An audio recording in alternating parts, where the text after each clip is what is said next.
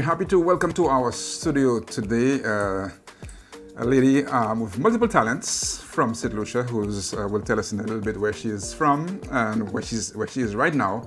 And but she's just released a book. Her name is Cindy Placide, and Cindy has just um, released a brand new book. We'll talk to her about that and plus her multiple talents in just a while. Cindy, welcome to Calabash TV.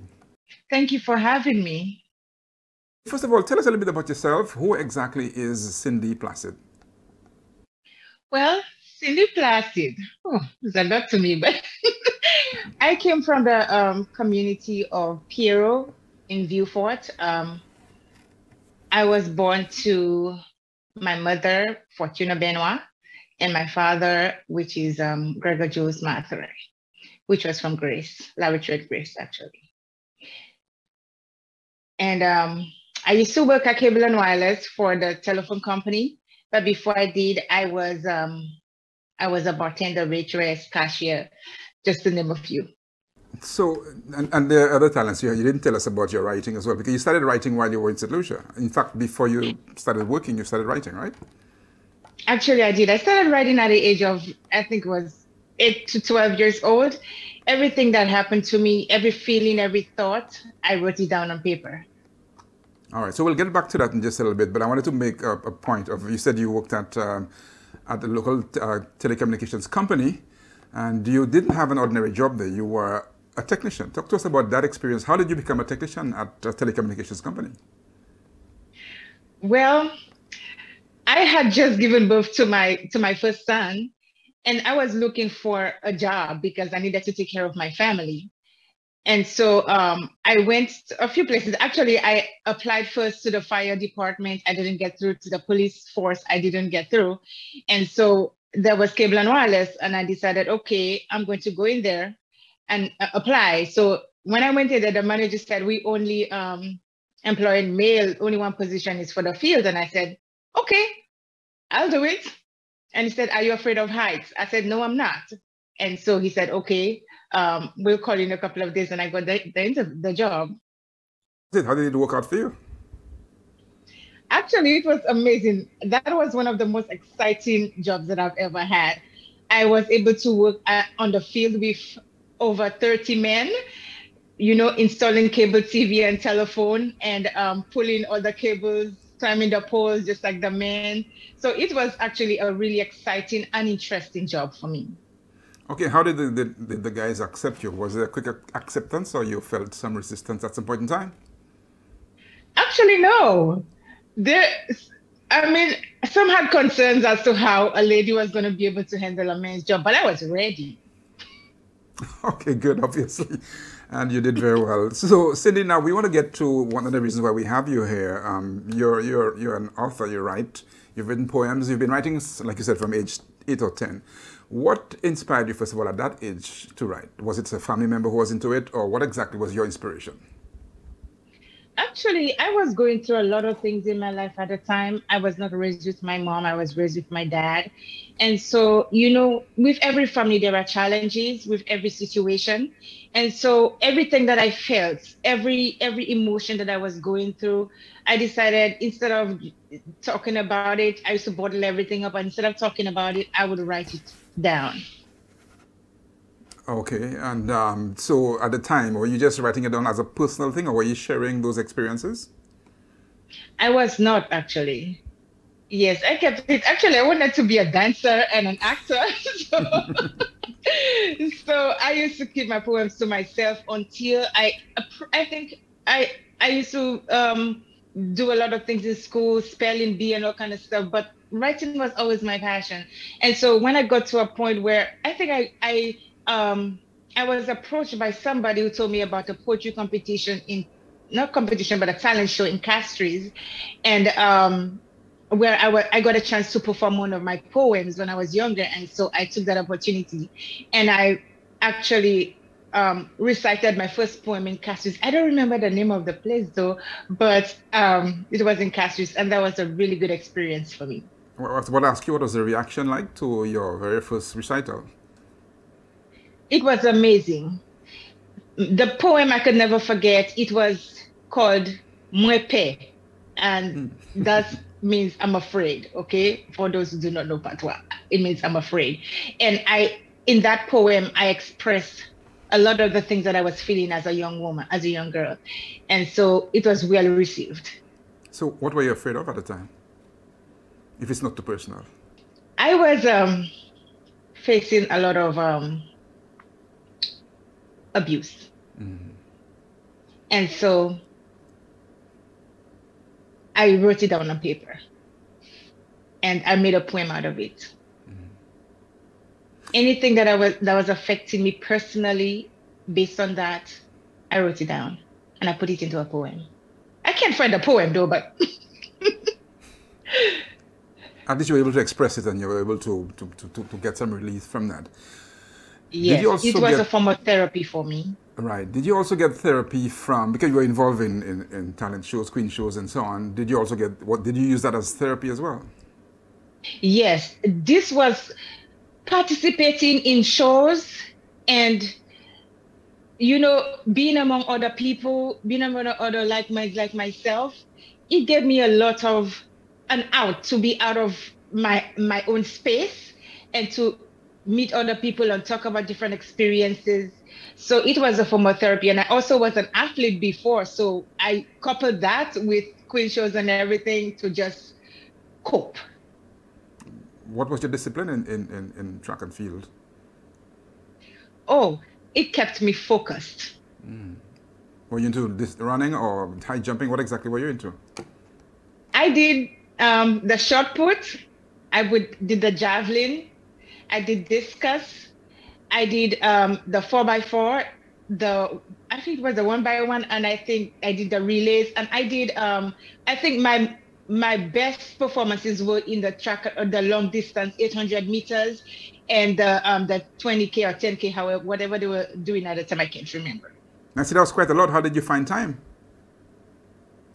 Well, I used to wake up early in the mornings and run and I used to train very diligently. I remember there's when I used to be by my mother's house in Cairo, there was a hill. We were living at the foot of the hill. And so I used to run from the bottom to the top. And I used to run a lot of, I used to engage myself in just going out on the in the fields and running on the road. So I made time because it was it was a, a way of coping for me and I needed it. It was necessity. Sorry, a necessity. Yeah. Now, when you left, you had one objective in mind. When you left St. Lucia to, to migrate, you had one objective in mind. You wanted to advance yourself as a writer. Um, tell us what is it that you were envisioning when you were th thinking of leaving St. Lucia um, to head to the U.S.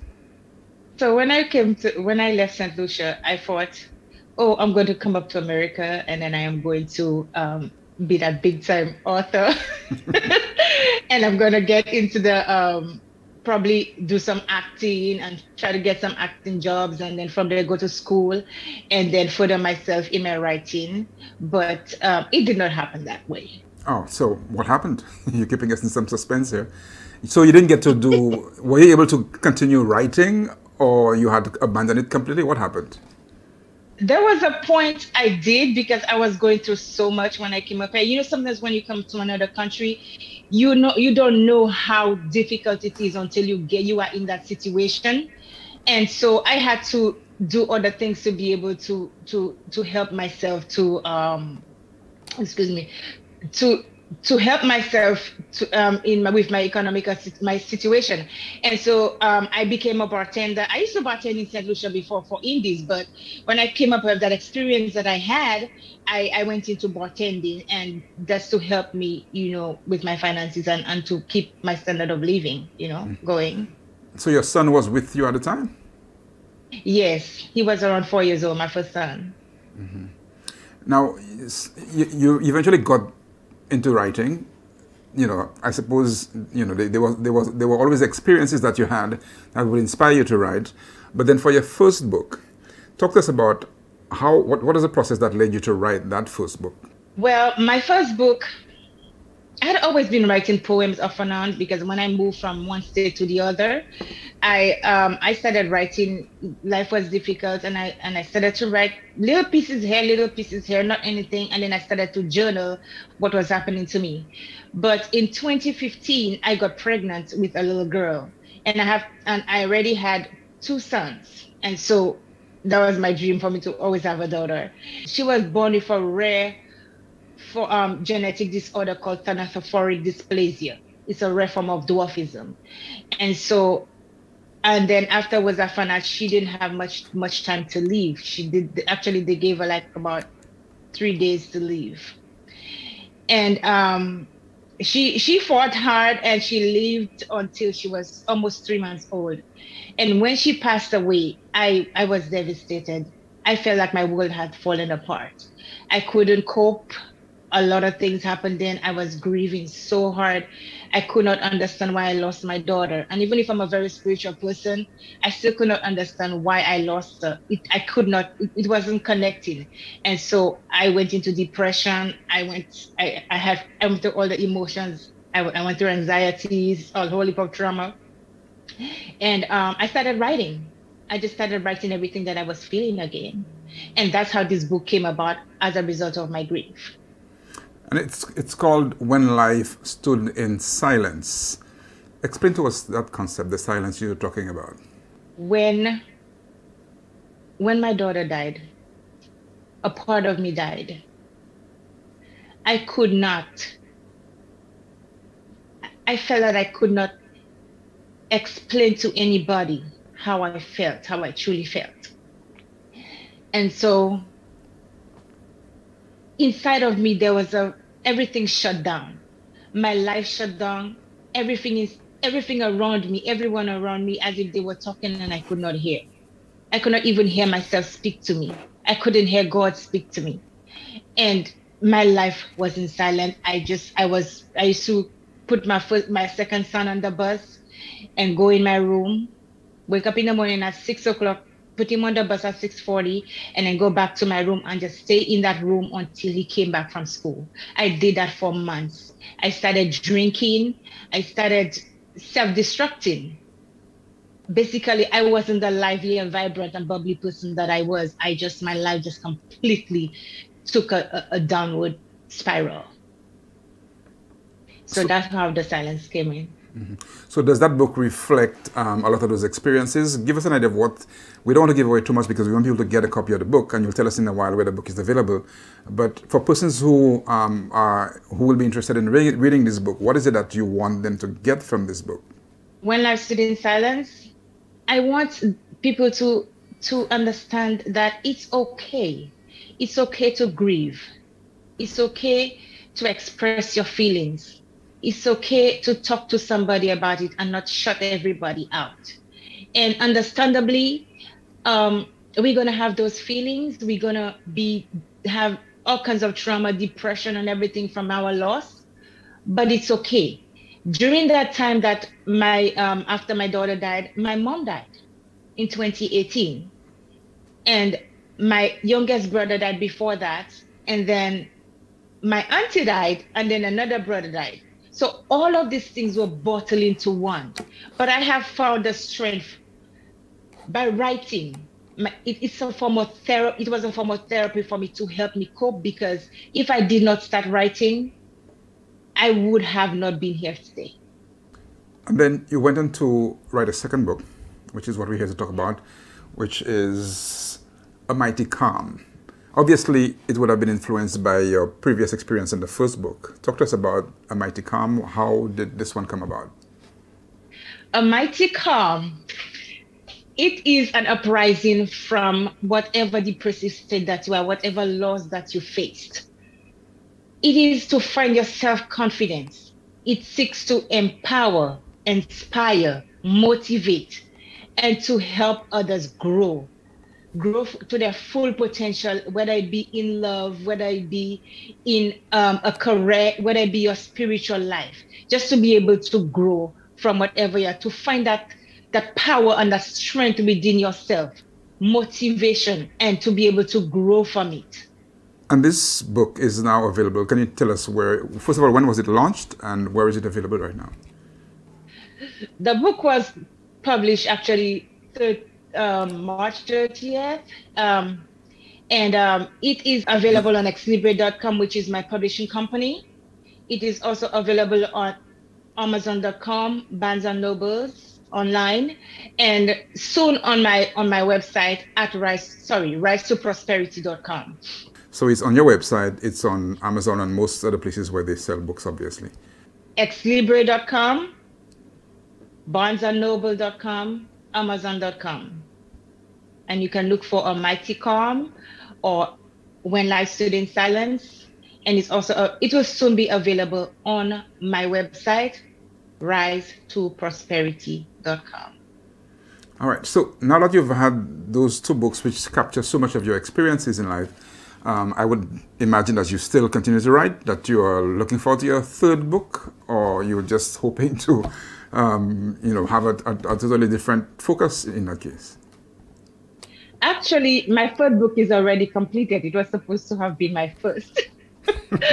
but there are some issues. Um, it is so it's it's out from it's out into my publisher's hand right now. So hopefully before the year is over, that book is going to be out. And I also have another book of poems which I'm also working on. It should be out before the year is over as well. I'm I continually write. Wow, that's quite amazing. Um, so you know, within a year, at least this year, you will have at least two other books out in addition to our, uh, a Mighty Calm. Yes.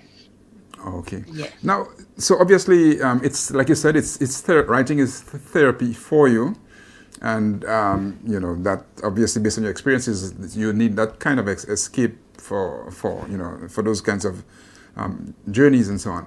Talk to us about your your message now to our viewers based on your experience. Um, you've been through so much already, and there are people out there who are hurting and going through you know similar ex- experiences and so on. What is your message to them in terms of how they can handle and see through those those situations? You know, life is difficult as it is, and we all are going to face if we are not already facing some very trying times. But we cannot allow our adversities to have power over us. We are built with more strength within us than we could imagine. And we just have to find it within us, to dig deep within to find that strength, find that courage to be able to stand, get the needed help that we need. Don't be afraid to speak to someone about what we are facing. Don't be afraid to ask for help, whether it be to write or to um or to help, you know, go through the process of grief. Because none of us are immune to grief none of us are immune to adversities none of us are immune to death. We are human beings we are all imperfect and things are going to happen. So we need to find it from deep within ourselves to help to grow and to foster you know that thing that is going to keep us moving keep us going. And if it means that we have to go through therapy to um, overcome our challenges and to better cope then that's what we need to do but whatever means necessary then we have to do that so we could continue to be a positive change in the life of others. Okay, Cindy. So when I was talking about your multiple talents, um, we mentioned the whole range of things that you've done. You've been in Queen Show, you've, you've been a technician, you've been doing so many things. But you also have a show as well where you highlight um, other writers as well. Talk to us about the TV show that you're hosting. What inspired the show?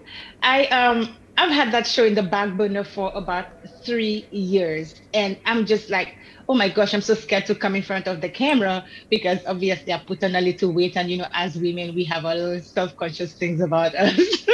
but I said to myself, Cindy, you have been through so much and you have a story to tell and you want to help people.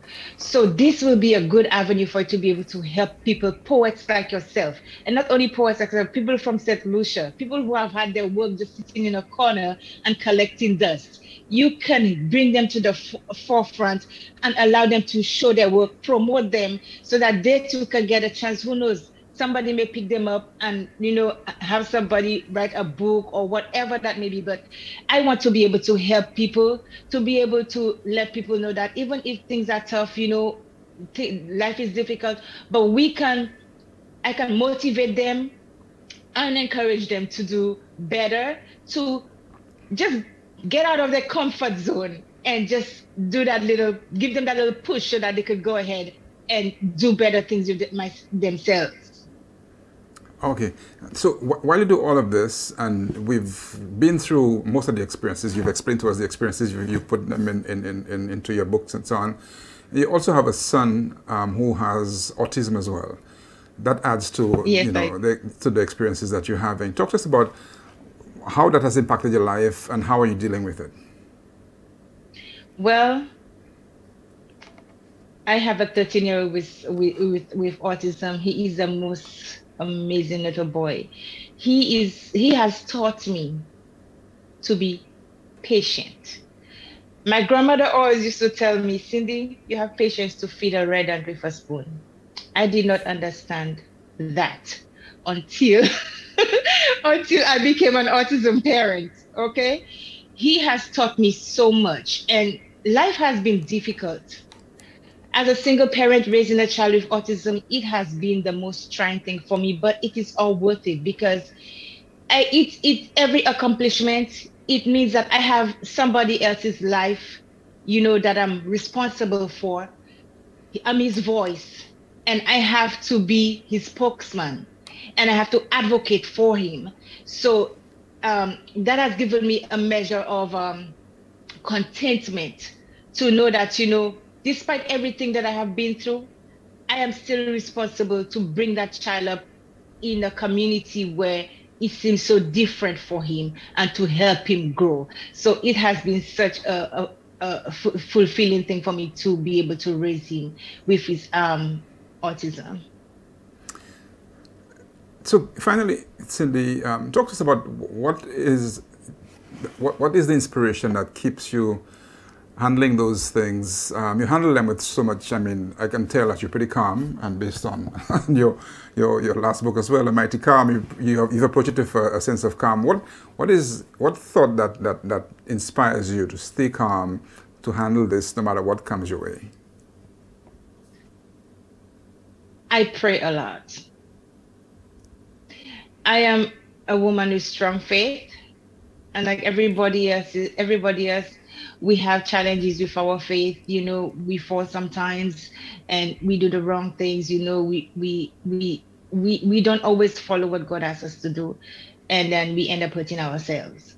But i am a strong a woman of strong faith and i i have learned that my personality being a bubbly personality um oh i have a good sense of humor. So i i keep going I keep um, I keep just letting that that bubbly person that I was before, always lively, always you know you know talkative and talking to people and trying to inspire people.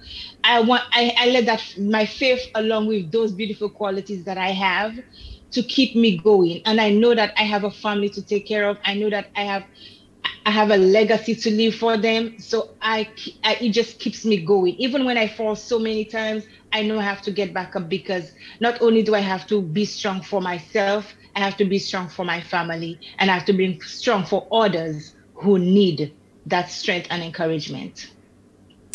All right, Cindy, we appreciate the opportunity to speak with you. And we want to congratulate you on, you know, the books that you've released. And like you said, there are two other books in the making, which we might see before the end of the year. We look forward to that.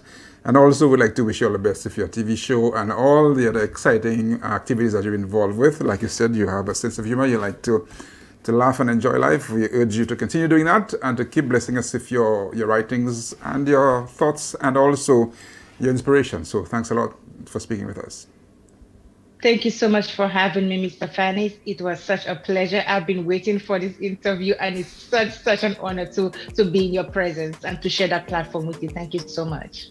Thank you